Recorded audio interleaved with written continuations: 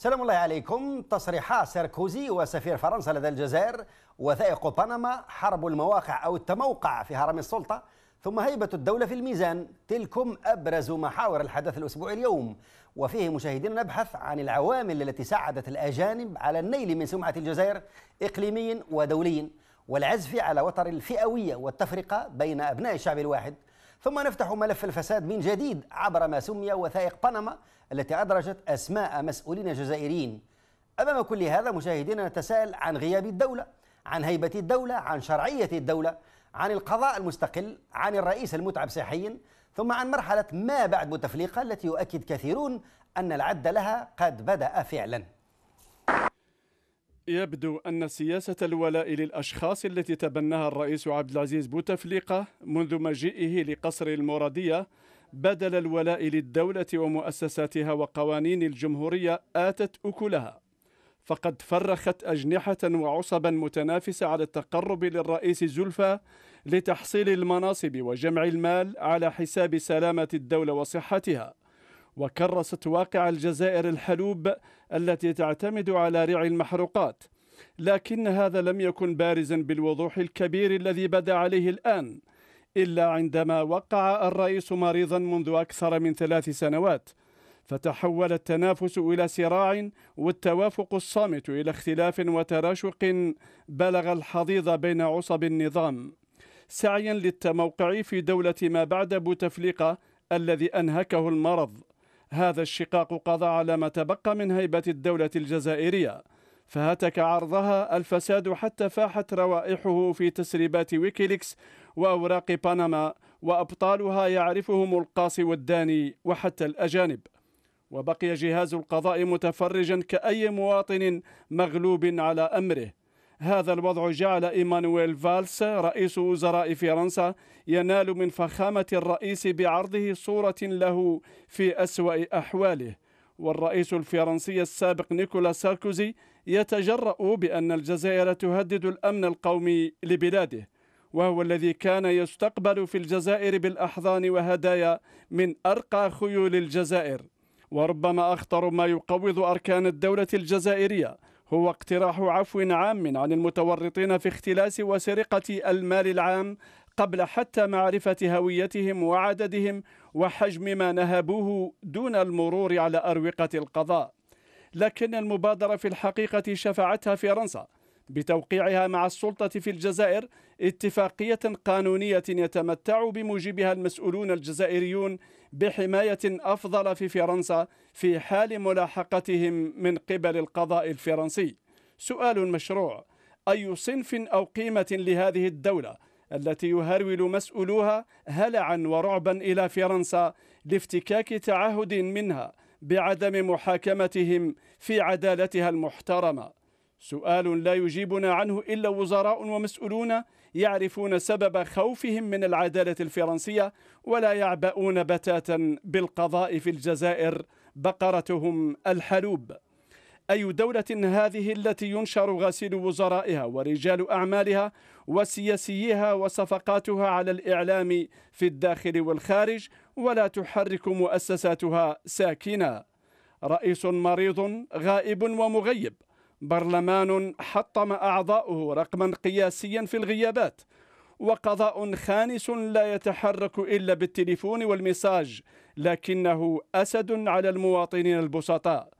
وحكومة توشك أن يكون أعضاؤها من حي سكني واحد. فالكل يتفرج على مشادات بين عبد السلام بوشوارب ورجل الأعمال يسعد ربراب ثم بين وزير الاتصال عبد الحميد جرين ويسعد ربراب اثنين حول صفقة جريدة الخبر.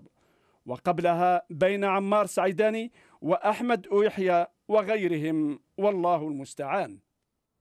التقرير لزميل محمد مغراوي مشكورا. إذا مشاهدينا الكرام بعد الترحيب بكم مجددا نحن اليوم نطرح قضايا الأسبوع أبرز الأحداث التي حدثت في الساحة السياسية في الجزائر وأولها تصريح نيكولا ساركوزي الرئيس السابق لفرنسا الذي كان قد صرح من قبل آه، لما حل ضيفا بتونس من أن ليبيا ليست دولة وإن أمن تونس هو من أمن فرنسا لكن بالنسبة للجزائر فإن أمنها خطير.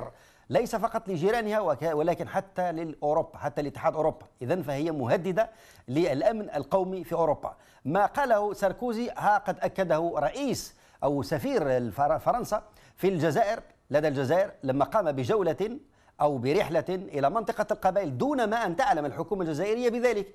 ولكنه يا ليته اكتفى بهذه الرحلة. فبعد هذه الرحلة أطلق تصريحات عدت بأنها تصريحات مؤذية تصريحات ليست مؤسسة. بل آه، آه، تتصف بأنها تغذي نار الفتنة بين أبناء الشعب الواحد وتمزيق البلد إلى أقسام. هذا الذي قاله الكثير من المناظرين في جبهة القوى الاشتراكية وأحزاب أخرى وطنية عندما قال إن أغلب الطلبة الجزائريين الذين يدرسون في فرنسا هم من منطقة القبائل بومرداس لبويرة تيزي وزو وبجاية ثم قال إن الحكومة الفرنسية تخصص لهذه المنطقة الحيز الأكبر من التأشيرات. وهنا نحن نتساءل عن هذا التصريح الفظيع هكذا يقول كثير من الحقوقيين والناشطين. ثم بعد ذلك السفارة آه، أصدرت تصريحا بأن هذا التصريح بأن الذي آه، هو مسجل الذي هو منشور في وسائل الإعلام ليس صحيحا لكن هنالك من المناظرين في هذه الأحزاب من قالوا لقد حضرنا فعلا هذه التفاعل هذه هذا التفاعل عندما هذه الفعالية لما قام السفير بجولته إلى منطقة تيزوز وأطلق هذا التصريح الذي عده الكثيرون خطيرا جدا. معنا مشاهدينا الكرام الأستاذ علي ذراع المستشار الإعلامي. أستاذ علي ضعنا في صورة هذا التصريح الذي آه أثار جدلا كبيرا في وسائل الإعلام الجزائرية بعد أن قال السفير أو السفارة بأنه هذا التصريح ليس صحيحا وما قيل هو كذب ولكن هنالك من المناضلين في منطقة القبائل من قالوا فعلا حضرنا هذه الفعالية وهذا السفير أطلق هذه التصريحات السلام عليكم أخي عثمان. وعليكم السلام ورحمة الله. أعتقد أن الأمور من الناحيه الدبلوماسية مطروحة خطأ. أيوه. أه، هناك تجاذبات بين الدبلوماسية الجزائرية والفرنسية من منذ مدة. نعم. أه، خاصة المدة الأخيرة بعد المقال والرسوم التي كانت تفضل بها الصحافة الفرنسية حول أه، صحة السيد الرئيس أيوة. وردود الفعل التي كانت جاءت من وراءها مباشرة من طرف الدبلوماسية الخارجيه الجزائرية. وأعقبتها هذه التصريحات بصورة آه، الرئيس عند الوزير الأول الفرنسي في في موقعه تويتر. وأعقبتها مباشرة الأيام هذه تصريح السفير الفرنسي في الجزائر في تيجي وزو نعم. السفير الفرنسي يريد تكذيب ولكن المواطنين والمناضلين الذين حضروا اللقاء يؤكدون هذا خاصة بعد خرجت جماعة الافافاس الذي تؤكد أن المناضلين من الاساس كانوا موجودين. فالسؤال المطروح وقبل سؤالي أنا أريد أن أوجه تحية إلى السيد وزير الخارجية الجزائري على الرد السريع والمباشر للسفير. والذي كان يفترض أن يستدعى هذا السفير للخارجيه لاستماع لماذا الأقوال هذه جاءت في هذا الظرف بالذات؟ لماذا؟ والسؤال الآخر كيف يعرف أن هذا هؤلاء الذين منح لهم التاشيرات آه، آه، أو الفيزا هم من بلاد القبائل؟ كيف يعرف؟ يعني هناك مصلحة خاصة في آه، السفارة الفرنسية تقوم بالبحوث في هذا فيما يخص هذه القضايا.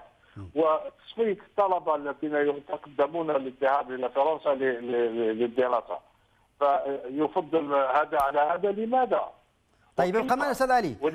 آه نعم يبقى معنا أستاذ علي سأعود اليك بعد لحظات ورحب الان مشاهدينا الكرام من ضمن الاستاذ كريم طابو الناطق الرسمي باسم الاتحاد الاجتماعي الديمقراطي. يبدو أننا فقدنا أستاذ كريم طابو. معليش أعود اليك أستاذ علي. تفضل. نعم. واصل واصل. نقول السفير السفير الفرنسي آه، بيننا وبينه علاقات ذو شجون يعني بين الجزائر وفرنسا الآن ليست ليس وقت للمروحة يا سيادة السفير. ليس هناك وقت لتشتيت أو ضرب الجزائريين بعضهم البعض الوحدة الجزائرية الوحدة الوطنية مدعمة. مدعمة بدماء الشهداء ومدعمة بوحده حقيقية لبراساج الشعب الجزائري منذ 14 قرن فليس هناك مجال للتلاعب بين أبناء الجزائر والتفرقه بينهم نعم. وعلى الخارجية أن تكون صارمة. وعلى السلطات الجزائريين أن يكونوا صارمين مع مثل هذه المواقف. الدبلوماسية نعم. طيب. سياسه نعم. نعم نعم أستاذ علي نعم سأعود لك. سامح لي فقط حتى لا تنقطع المكالمة سأعود لك. أستاذ كريم طابون ناطق باسم الاتحاد الديمقراطي الاجتماعي وارحب بك أولا. ثانيا هل فعلا هذا التصريح الذي أطلقه السفير الفرنسي لدى الجزائر فعلا يصب في إطار العزف على وتر الفئوية والانقسام بين أبناء الشعب الواحد مثل ما ذكره الكثير من المناضلين المنضوين في إطار الأفافاس وأحزاب أخرى؟ للأسف الشديد فقدنا مرة أخرى كريم طب ونعتذر للمشاهدين على هذه الانقطاعات المتكررة هذه حال آه، وسائل الاتصال في الجزائر. معلش أستاذ علي آه، أستسمحك لكن أريد أن أطرح السؤال من جهة أخرى بالنسبة لهذا السفير يذكر بالتصريح الأول الذي كان أطلقه ساركوزي حتى لا يقال بأنكم تكلمتم عن السفير ونسيتم ربما قد يكون مشروع رئيس لفرنسا مستقبلا بعد أن كان فعلا رئيس. كيف يصرح بهذا التصريح؟ على أن الجزائر مؤذية ومخيف. الذي يحدث فيها مؤذن ليس فقط لجيرانها بل لأوروبا كلها بمعنى أنها تهدد الأمن القومي الأوروبي. إيه، فعلا. آه، آه، ساركوزي معروف يعني علاقتنا علاقتنا بساركوزي واليمين المتطرف. أيوة. اليمين المتطرف في فرنسا اللي عنده علاقة مع الصهيونية الصهيونية العالمية معروف. معروف أن ساركوزي من من أعداء الجزائر من من الناس اللي يحلموا مازال يحلم بالجزائر الفرنسية. معروف هذا السيد هذا هو اللي ضرب وحدة ليبيا وشتت وحدة ليبيا وضرب كثير من من الدول العربية. معروف أن الشخص هذا أو السيد هذا اللي كان وصل رئيس لفرنسا و الأمن الجزائري يهدد أمن فرنسا. من أي ناحية سياده الرئيس؟ من أي ناحية؟ الجزائر دولة مستقلة جديدة دولة فتيه دولة نامية. ليست لها الإمكانيات فرنسا اللي تهدد أمن العالم ككل. ليس أمن أوروبا. إحنا من أي الجزائر من أي ناحية؟ مساكين الجزائريين يشتغلون من أجل العيش والخبز تاعهم في فرنسا. هؤلاء يهددون الأمن الفرنسي. وامن أوروبا أليس هذا تعدي على الجزائر؟ أليس هذه أطماع جديدة لضرب وحدة الجزائر؟ أليست هذه طيب. أطماع يا سيادة الرئيس؟ هكذا أخ علي نعم هناك الكثير من أبناء الجزائر من يؤيدون هذا الطرح الذي تركته طرحته الآن أستاذ علي دعنا نعود إلى الاستاذ كريم طابو التحق بنا الآن. إن شاء الله يكون الاتصال جيد هذه المرة. أستاذ كريم طابو ناطق باسم الاتحاد الاجتماعي الديمقراطي. هل فعلا ترى هذا التصريح الذي أطلقه سفير فرنسا لدى الجزائر بأنه يصب في ما يسمى العزف على وتر الانقسام والجانب الفئوي بين أبناء الشعب الواحد؟ أهلا وسهلا. مساء الخير سي عثمان. أنا أظن ان هذا النقاش من الواجب أن نتطرق إليه بكل موضوعية ويجب تفادي بعض بعض الأفخاخ التي يريد أن يجعل بها النظام نعم. آه يعني نقاش اليوم في الساحة السياسية لأن النقاش الحقيقي في الجزائر اليوم من المفروض أنه يدور على قضايا الفساد على تورط وزراء على تورط أشخاص مقربين للرئيس في قضايا عدة من الفساد وكان من المفروض أن تطرح أسئلة حول آه، آه، مستقبل هذه البلاد بعد بوتفليقة الرئيس مريض والجزائر في ركود سياسي لأن اليوم الحالة الاستعجالية الموجودة فيها الجزائر كان من المفروض أن نتطرق لهذه المواضيع. أما السلطة الجزائرية تراوغ مرة ثانية.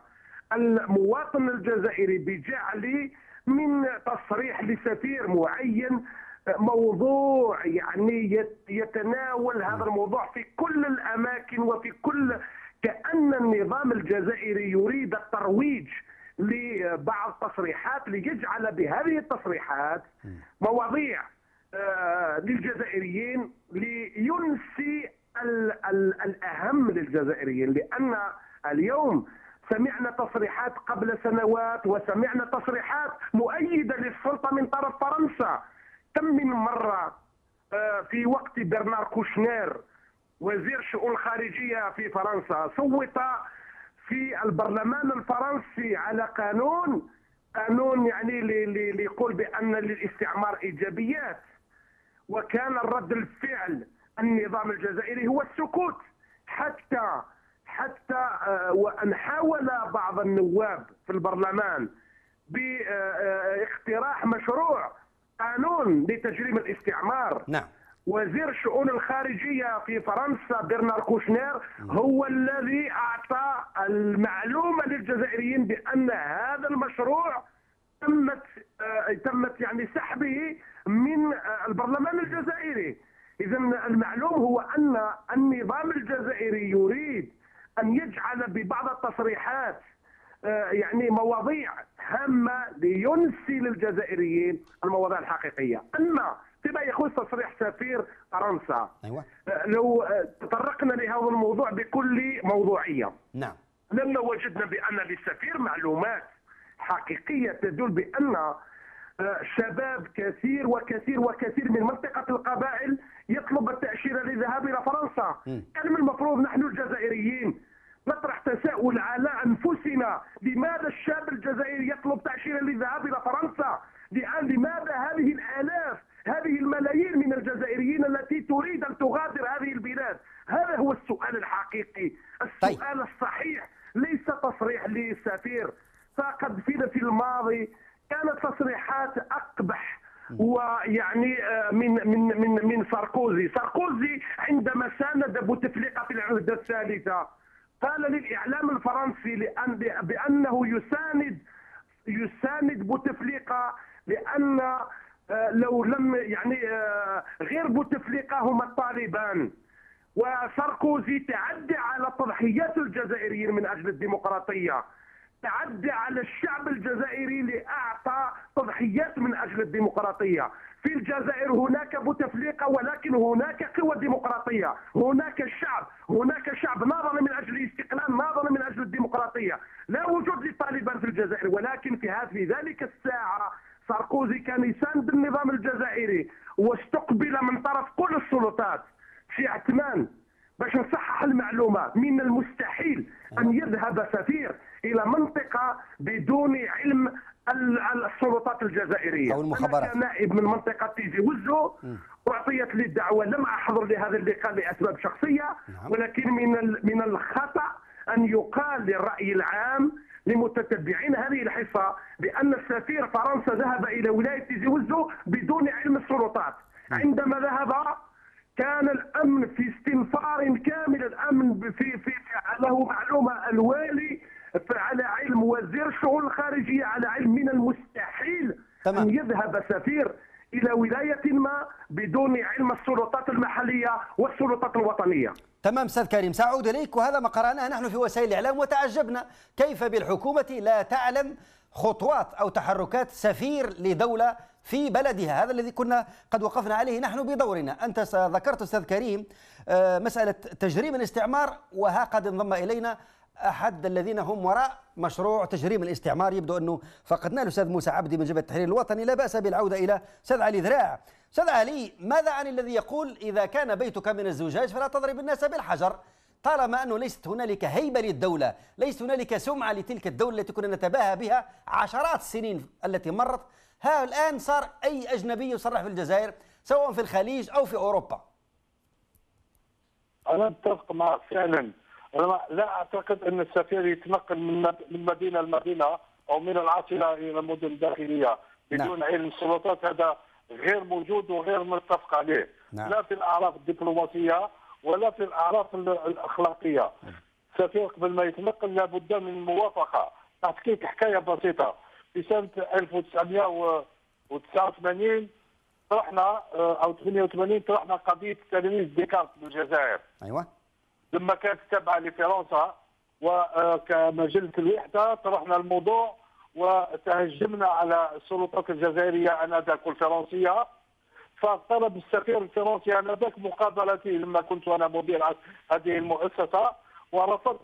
فطلبوا مني الخارجية أن أستقبل السفير لأنهم هم موافقين على هذا اللقاء. أيوه. والتقينا. أنا رفضت. والتقينا عند بيت آه، أو في مكتب السيد وزير التربيه ذاك السيد بن عمار. وبعد النقاش طويل بيني وبينه يقول لي يا السيد علي دراع أنتم شباب وعندنا في فرنسا شباب اتجهوا للمستقبل لنبني مستقبل بعيد عن الأحقاد وبعيد. خلي الصفحة نطويها. وكانوا هم الذين يترجون آنذاك لما كنا إحنا أقوياء. فالآن صبحوا يدخلوا الملعب ملعب الجزائر ويريدون ضرب الجزائر. أنا أقول للسيد طابو مع احترامي له السيد كريم طابو صديقي وعزيزي أحبه وأقدره واقدر نضاله أيوه. أقول لما تكون الأمور بيننا وبين العدو التقليدي هو فرنسا ننسى مؤقتا الجبهة الداخلية، إحنا في الجبهة الداخلية نسلم التفصيل مع بعضنا البعض، نسلم طيب. التفصيل مع النظام، مع طبيعة النظام. لما تكون تهجمات من النوع هذا خاصة من واحد مثل ساركوزي. ساركوزي ليس عادي.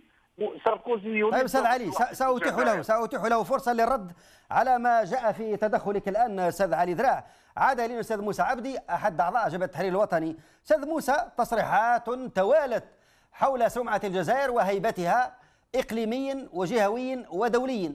لكن هناك من يقول هذه التصرفات أو هذه التصريحات هي فرصة للنظام الجزائري من أن يشغل الناس عما هو أهم من أولويات البلاد. ما رأيك؟ السلام عليكم ورحمة الله تعالى وبركاته. وعليكم السلام ورحمة الله. أهلا وسهلا بك أريد, أريد خلال هذا الحوار أيوة. أن أبدأ مداخلتي من بمجموعة من الحقائق التاريخية التي أثبتها الواقع وهي أن فرنسا بالنسبة إلينا نحن وبالنسبة إلى المستعمرات الأخرى هي الدولة الوحيدة في النظام الاستعماري العالمي القديم التي لا زالت تتعامل مع شعوب وحكومات مستعمراتها القديمة بثقافة الاستعلاء والكبرياء نعم. والثقافة الكولونيالية وتقلل من من شأن السيادة هذه الدول ولا زالت لحد الساعة. تعتقد بأحقية الوصاية الفرنسية على مستعمراتها داخل ربوع العالم. ومن هذا المنطلق يمكن تلخيص السياسة الفرنسية الخارجية نحو العالم الثالث ومستعمراتها على بشكل على على الخصوص. المواقف الفرنسية لكثير من الشخصيات الفرنسية. سواء الرئيس نيكولا ساركوزي أو الرئيس هولوند أو رئيس الوزراء فالس أو السفير الفرنسي كل هذه التصريحات وهذه المواقف الفرنسية المتعددة هي عملة واحدة ذات أوجه متعددة مختلفة ولكنها تخدم المصلحة الفرنسية. طيب لماذا كثرت في هذا الوقت بالذات يا أستاذ موسى؟ ربما المشاهد يسألك يقول لك لماذا بالضبط هذه التصريحات توالت وكثرت في وقت واحد بدءا بهولند ثم بعد ذلك فالس ثم ساركوزي ثم هذا السفير. أنا أنا أنا قادم إلى ذلك يا سيدي. تفضل. أنا أنا أنا قادم إلى ذلك إلى ذلك من خلال سياق هذا التحليل. وفرنسا هي الدولة الوحيدة التي تدخل في شأن السيادة الدول. لمستعمراتها كما حدث في في في في, في الكونغو وما حدث في مالي وما حدث في غير ذلك. فهل هناك من يعتقد فهل هناك على وجه التحديد فهل هناك من يعتقد بأن فرنسا تذم الشعب الجزائري وتذله وتستفزه من خلال مشاعره والمساس بسيادته ورموزه الوطنية لإيقاظ الضمير الجزائري؟ لكي يتوحد هذا الصف. أنا لا أعتقد ذلك يا سيدي الفاضل. فرنسا مقبلة على مجموعة من الخطوات والمقبلة على الانتخابات الرئاسية القادمة. وعليها أن أن تنتج حراكا سياسيا خارجيا لكي تستقطب الجماهير وتلفت الرأي الفرنسي الداخلي نحو الخارج لكي يلتف الشعب الفرنسي حول سياستها الداخلية من أجل من أجل الفوز أو الحصول على الاستحقاقات الفرنسية القادمة. فرنسا أيضا توظف كثير توظف اللغة الفرنسية توظف توظف كثيرا من اقتصادها الضغط على هذه الدول مستعمرتها من ناحية اقتصادية ومن ناحية سياسية ومن ناحية ثقافية لكي, لكي تكون تابعة لها وبالتالي فرنسا كل هذا المخاض السياسي وهذا الحراك السياسي الذي توجهه فرنسا نحو الجزائر ليس من أجل عيون الجزائر وليس من عيون الشعب الجزائري ولكن من أجل مصلحة فرنسا طيب على وجه على موسى. وجه التحديد وجه الخصوص. طيب يبقى معنا أستاذ موسى عبدي اعود الآن من جديد أستاذ كريم طابو. ما رأيك أستاذ كريم طابو؟ لوجهة نظر الاخرى تقول أنه طالما أن هنالك عدو يترصد البلاد تصريحات تسيء للجزائريين كلها لقيم الجزائريين ولتاريخ الجزائر لا بد أن نتحد وأن نتجه لهذا العدو لنرد عليه وننسى قليلا أو شيئا ما ما يحدث في البلد. ما رأيك؟ هذه وجهة نظر الأستاذ علي ذراع ولكن نفس نفس السلطات الفرنسية عندما كان طرف في المعارضة الجزائرية تطلب بتفعيل الماده 88 من الدستور. أيوه. تطلب بإجراء انتخابات رئاسية مسبقة، الكل يعلم بأن الرئيس مريض. أيوة. وأنا شخصيا لم أشاطر هذا الرأي ولكن هناك طرف واسع من المعارضة طلب تفعيل المادة 88 ، ماذا حدث؟ الجزائر استقبلت فرنسوا هولوند وخرج فرنسا وهولوند وصرح بان الرئيس الجزائري بخير. هذا جواب للمعارضة، هذا تدخل صريح في الشؤون السياسية الداخلية للجزائر، لماذا لم تتحرك السلطة في هذه في ذلك الوقت؟ لأن تدخل فرنسا في الشؤون الداخلية عندما يخدم السلطة تسكت عليها السلطة ولا كلام على هذا الشيء.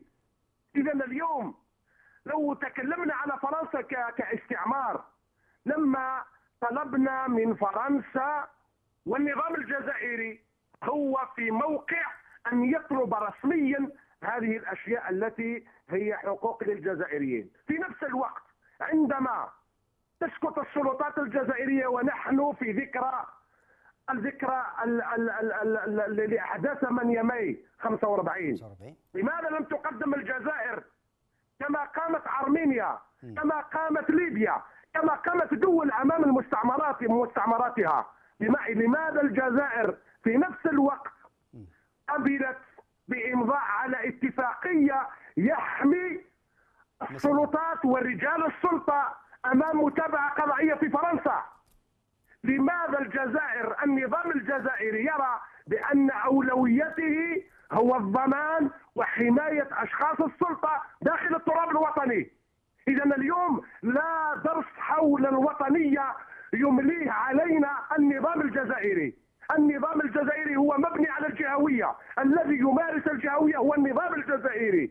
النظام الجزائري من 62 كان يقود أمور هذا الشعب بسياسة فرق تسد يلعب على هذه هذا الوتر. قبل أن تلعب عليها الاستعمار يلعب عليها النظام. تارة يلعب على هذا الوتر في منطقة القبائل في منطقة المزاب في منطقة الجنوب. أكبر تهديد على الوحدة الوطنية هو هذا النظام الذي يستعمل كل الأساليب لتفرقة الجزائريين. لأن منطقة القبائل لا يقدر عليها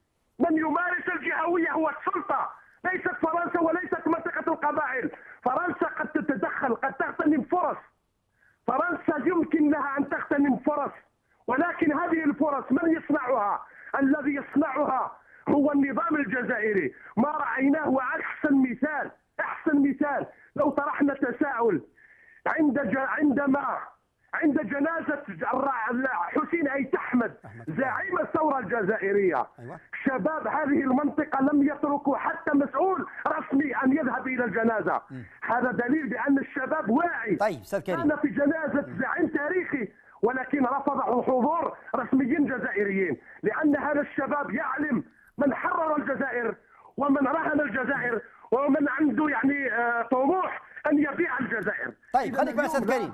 يا أستاذ كريم خليك معنا أستاذ كريم. سنستمر في النقاش. خليك معنا. أعود من جديد أستاذ موسى عبدي عضو حزب التحرير. أستاذ موسى هو الأخ معنا ضيف من الجزائر وأنت تعرف أستاذ كريم طاب يقول لك بدلا من استرجاع هذا الحق الضائع بدلا من الاعتراف بهذه المجازر اللي ارتكبت أيام الاستعمار وربما أثناء قبل الثورة مع ذلك فإن السلطة سارعت إلى إبرام اتفاقية من أجل حماية المسؤولين من العقاب من رفع الدعاوى عليها في فرنسا. للأسف فقدنا موسى عبدي نرجو من إعادة الاتصال به. معليش أحيل هذا السؤال لزميلنا وأستاذنا علي ذراع. أستاذ علي نعم عودي سؤال الله يخليك طيب أستاذ علي يعني بدلا هو أستاذ كريم طابو طرح سؤال والكثيرون يرونه مشروعا يقول السلطات بدلا من المطالبه بالحقوق الضائعه بدلا من من المطالبه بالاسترجاع الارشيف بارغام فرنسا على الاعتذار عما ارتكبته من مجازر في حق الجزائريين والجزائريون احتفلوا أخيرا احيوا ذكرى الثامن ماي 45 فراحهم فراح الجزائريون إلى السلطات الفرنسيه لإقناعها أو لإبرام اتفاقية لحماية المسؤولين في فرنسا. هو فعلا أنا متفق مع الطرح بصفة عامة للاخ طابو لكن لما لما آه، فرنسا الكولونيالية فرنسا الاستعماريه أنا أنا أنا لا يسمعني نقول moi je parle de la France coloniale. فرنسا الكولونيالية فرنسا الاستعمارية لما يكونوا تصريحات ناريه من هذا النوع وحنا نتابع ماذا فعله ساركوزي في ليبيا؟ وماذا فعله في بعض الدول العربية وفي مالي وفي في في في في النيجر وفي بعض الدول دول الساحل؟ نقول له طابو يا أخي طابو أنا متفق معك الوحدة الوطنية مصانه أيوة. مصانه بدم الشهداء ومصانه بالنضال المشترك. لكن لعب فرنسا على هذه الأوتار سواء في الجنوب أو في غرداية أو في بلاد أو في تيزي وزو أو غيرها هو لعب استراتيجي مستمر دائم من طرف السلطات والاستراتيجية الفرنسيه معروفة لضرب الوحدة الوطنية وفرق تسود معروفة من طرف. فأنا لما يكون الموضوع مطروح بيننا وبين فرنسا أنسى صراعي مع النظام الجزائري أنسى خلافي مع النظام الجزائري وأتوجه كجبهة واحدة جبهه داخلية واحدة لاقول لفرنسا لن تنالي ما تريدي من منا لضرب وحدتنا الوطنيه في نفس الوقت توجه إلى السلطات الجزائرية نقول لهم حذاري حذاري بالانصياع في الطرح ولا بد من العمل من أجل إخراج فرنسا إخراج الجزائر من الهيمنة الفرنسية. أنا أعطيك مثال. لو إحنا فقط نتفضل ونلغي الإشهار باللغة الفرنسية في شوارع الجزائر. فرنسا تتحرك وتخضع لو نقول لهم المدرسة الجزائرية تبقى مقربه وبالأمازيغية. فقط فرنسا تتحرك. ونقول لهم إحنا راح نجيبوا الإنجليزية مكان اللغة الفرنسية. فرنسا تخضع ففي عندنا عندنا وسائل الضغط. إحنا في الجزائر. عندنا النظام عنده وسائل ضغط كبيرة. طيب. وإحنا كمعارضة. أيوه. حكومة علينا اننا نتوحد أكثر من أي وقت مضى طيب أستاذ علي وصلت الفكرة. أعود إلى موسى عبدي من جديد. عضو حزب التحرير ربما نفلح في الحديث معه هذه المرة. أستاذ موسى يعني آه، ألا ترى أن هيبة الدولة الجزائرية لا أقول الأشهر الأخيرة بل السنوات الأخيرة صارت مهترئة مزعزعة مضعضعة؟ الأمر الذي ترك هؤلاء الأجانب يتكلمون شمالا جنوبا شرقا غربا ويتحدون كل ما كان مغلقا في أوجههم يوما ما. أنا أريد أن أتطرق إلى فقرة قد ورد ذكرها في تدخل أحد الإخوة أيوة. حول صحة الرئيس وتصريحات فرانسوا هولاند ومرض الرئيس والصورة الاستفزازية التي نقلها فالس. أنا أعتقد بأن هذه المعادلة السياسية غير متكافئة. فالمقصود بمرض الرئيس والصورة هو محاولة التشويش على الجزائريين وخلق افتتان داخلي وقد جاءت تصريحات التصريحات السفير الفرنسي أيوة. وأنا أتأسف كثيرا للإخوة النواب بمختلف بغرفة البرلمان الذين الذين حضروا هذا اللقاء ولم يخرجوا لما تقدم السفير الفرنسي بهذا التصريح وأدلى بهذا التصريح المغالط كمحاولة فرنسية لضرب الاستقرار الجزائر وللتفرقه بين الجزائريين إلى أن الرد القوي الذي وفرنسا ما زالت تنتهج السياسة الاستعمارية الكولونيالية والتاريخ لا زال يعاود نفسه كما جاء في ذلك من خلال التفسير المادي للتاريخ والتفسير الحلزوني للتاريخ لابن خلدون أن التاريخ سيعاود نفسه، فرنسا أيضا رجعت إلى سياستها القديمة لكي تفرق بين الجزائريين هذا قبائلي وهذا عربي وهذا غير ذلك،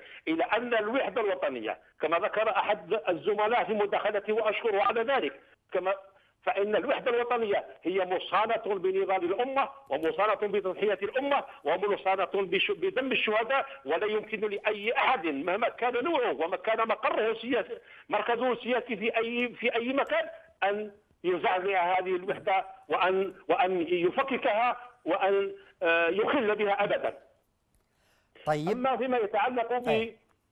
آه، صحيح أن فرنسا لا عيون ولا معاول ولا خونة ولا عملاء داخل الجزائر وفي أي لحظة من اللحظات ممكنها أن تزرع من القلاقل وتزرع من من من الفوضى بين أبناء بين الجزائريين من خلال هذه المعاول ومن خلال ومن خلال الخونة.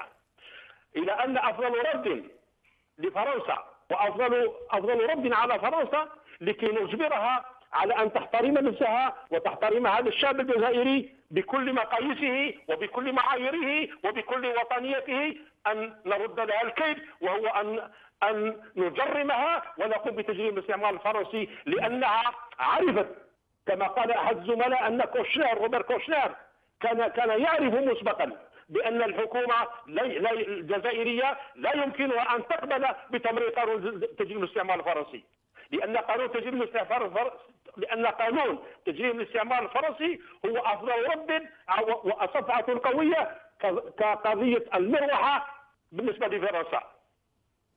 طيب وهو كذا أستاذ موسى عبدي. أنا أشكرك جزيل الشكر أستاذ موسى عبدي. عضو حزب التحرير الوطني. كنت أود أن أتحدث عن المحور الثاني لكن آه، يبدو أن الوقت استغرق كثيرا مع الاستاذ موسى عبدي في الخوض في أمور التاريخ وما حدث إبان فترة الاستعمار.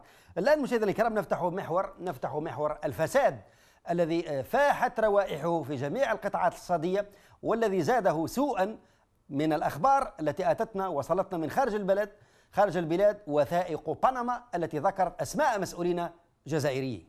أماط فريق الصحفيين الاستقصائيين اللثام عن قائمة جديدة من الجزائريين المتورطين فيما سمي فضائح وثائق بنما.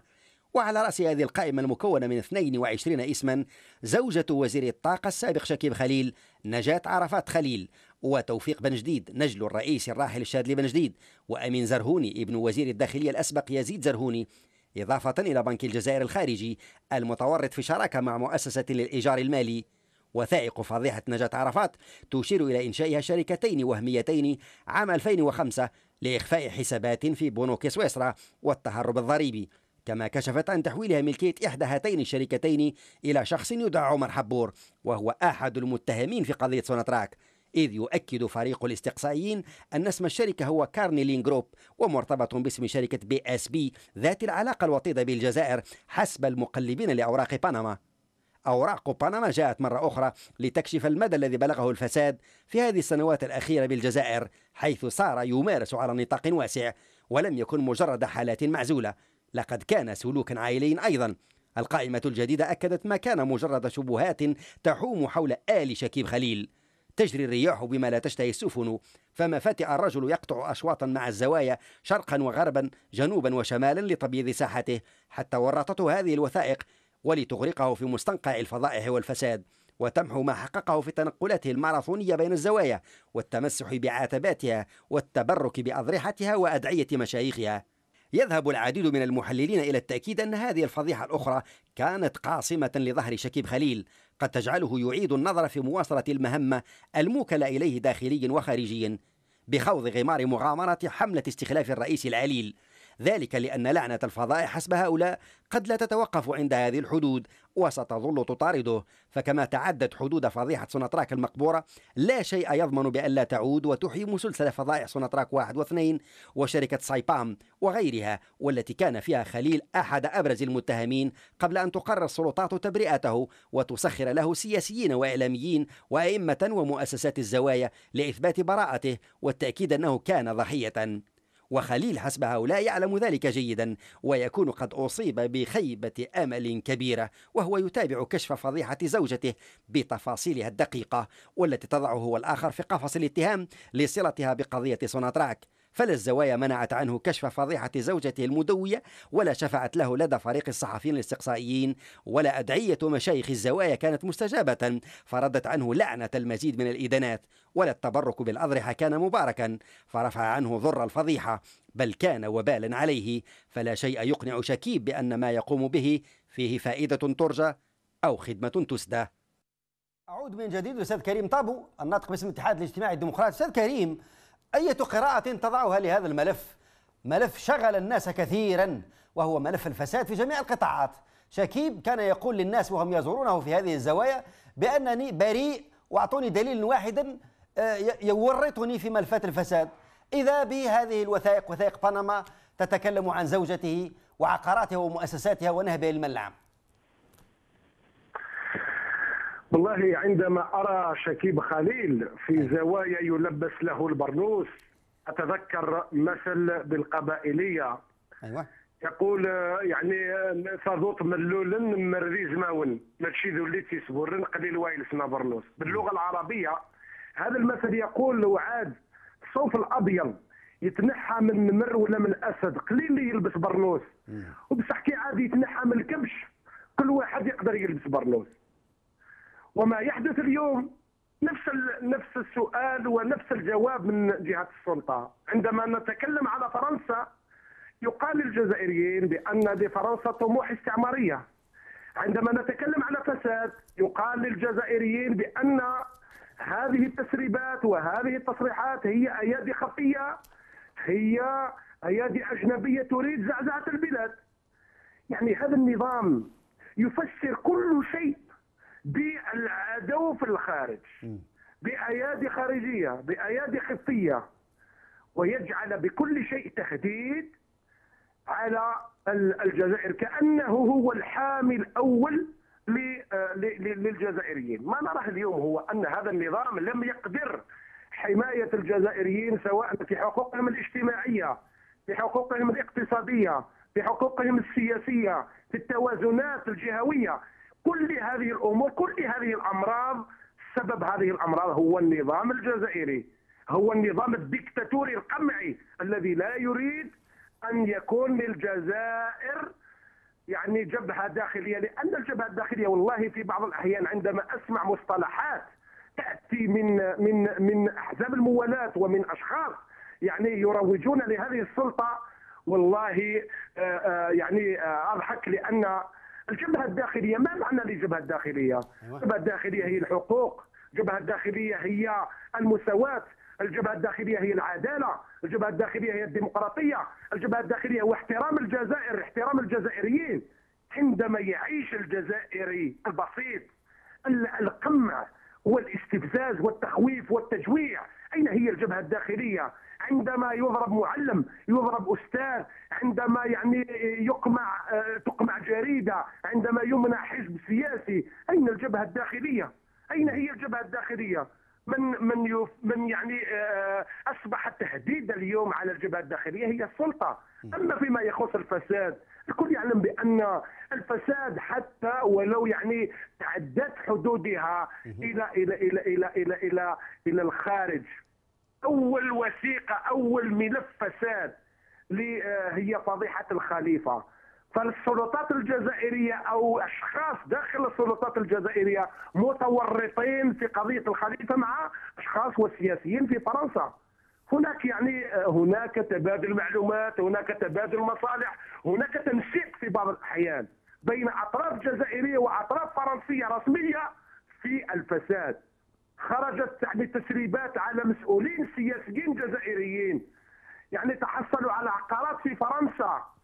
عندما يعني أسمع لممثلين عن جبهة التحرير الوطني بكل احترام لهذا الحزب يقولون بأن فرنسا فرنسا فرنسا فرنسا. رئيس الجمهورية ذهب لي لكي يعني يتلقى العلاج في فرنسا. أيوة. لم يذهب إلى قسنطينة لم يذهب إلى عنابة لم يذهب إلى تيزي وزو. لا وجود لمستشفى في تيزي وزو ولا قسنطينة ولا عنابة. يذهب إلى فرنسا لتلقي العلاج اذا كفوا على استعمال بعض بعض الشعارات بعض الشعارات بعض المصطلحات ك كأدوات سياسية لتغليط ولمناورة الشعب الجزائري. اذا اليوم مشاكل يعني ال ال ال الفساد.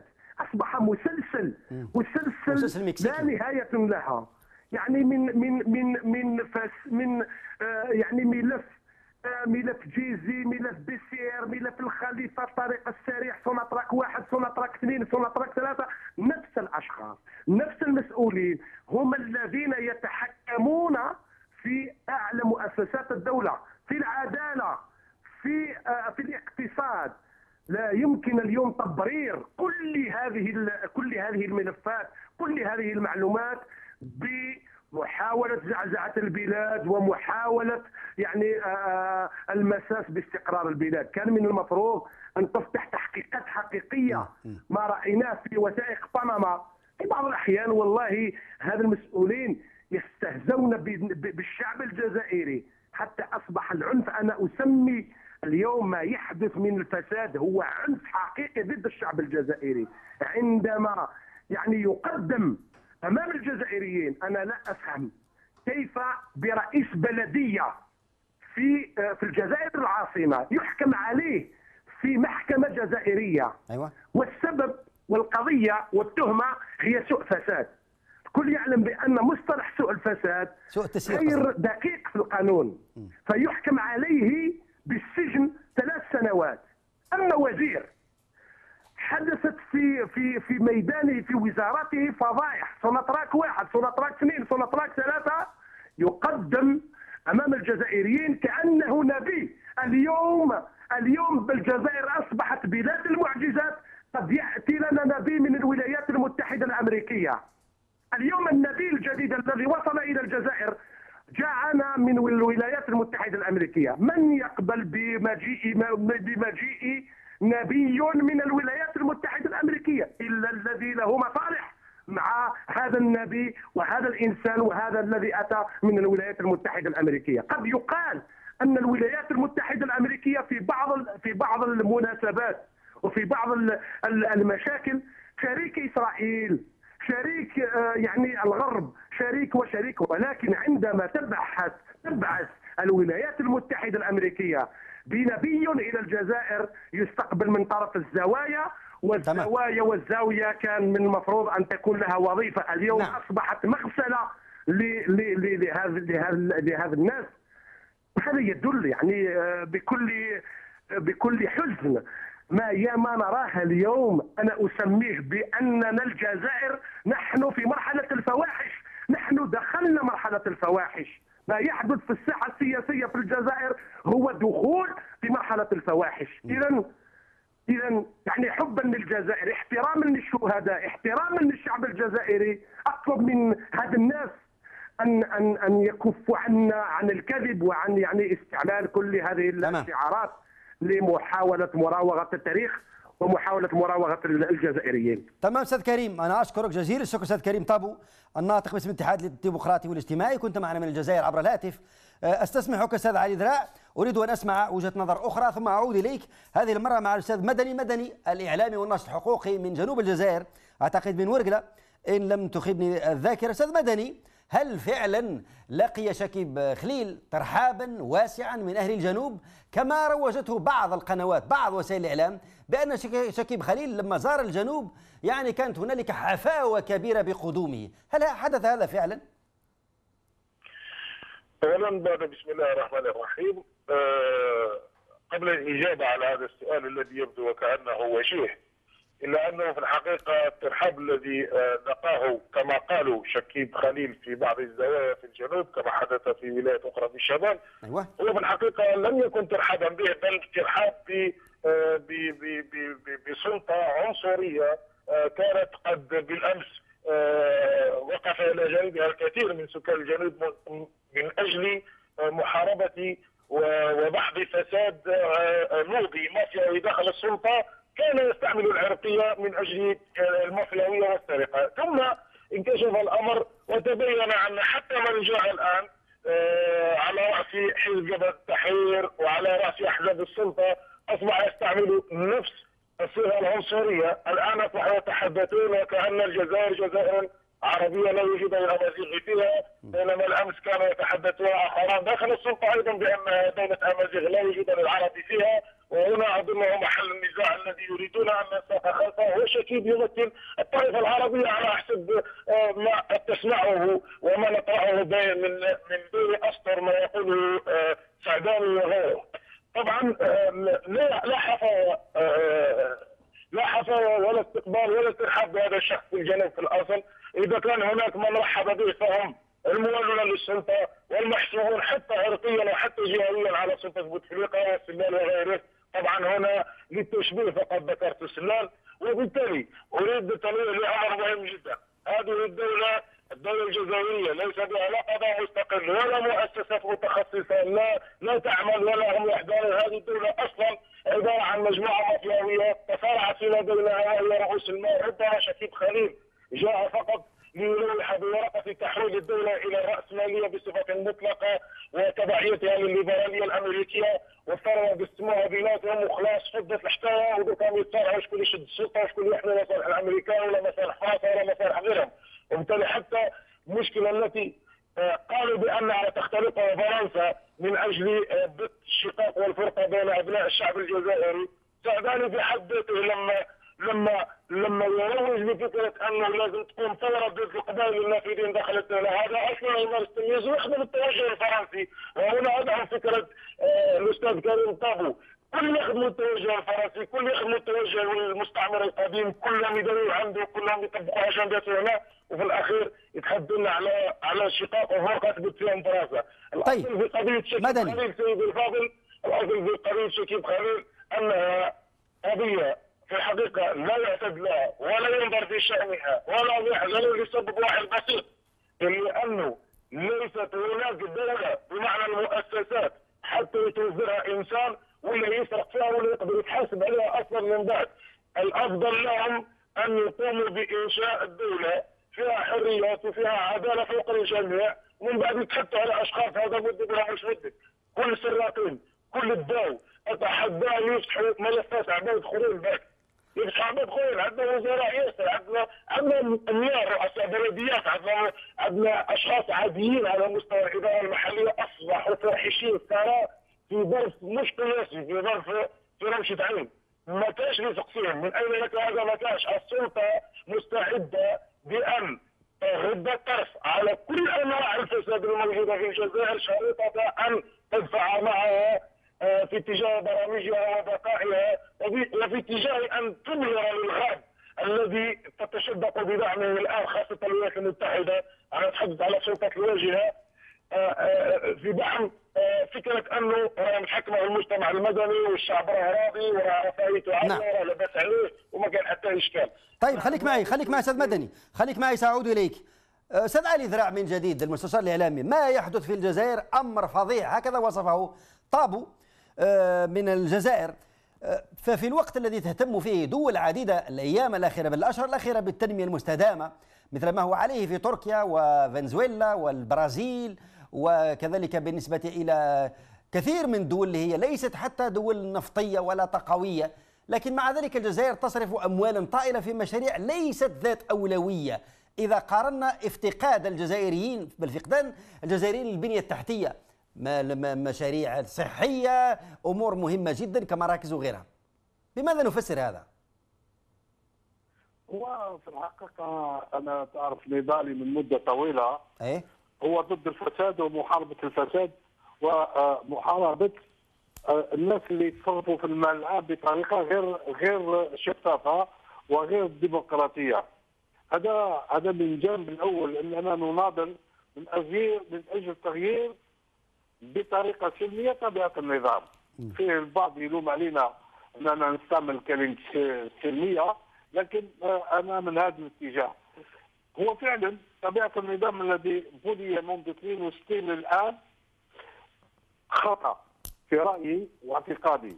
طريقته خطأ لأن الإشراف أو مراقبة تسيير المال العام والشأن العام غير مخول للمجتمع وغير مخول للشعب. الشعب لا يرى كيفيه تسيير المال العام لا يرى كيفيه تسيير الشان العام. فقط المسؤول هو المسؤول هو اللي يرى هذه. يتصرف في المال العام وكأنه ماله الخاص. حتى في ماله الخاص يحسن التصرف فيه. أما لما يوصل المال العام يصبح يوزع وكانه يوزع الرعاده لارضاء بعض بعض الناس ولاسكات البعض الآخر.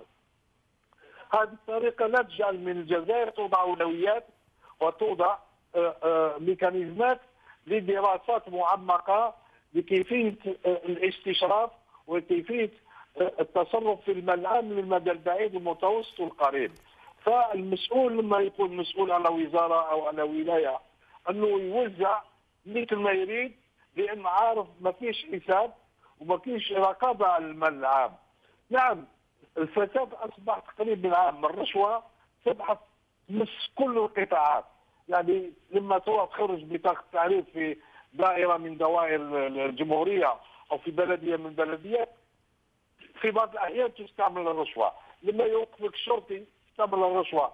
لما فهذه الأمور يعني المجتمع تقريبا راح يحولوه إلى فاسد. نعم. راح يخلوا الناس كل تشارك في الفساد. وهذا الخطورة خطورة سقوط النظام.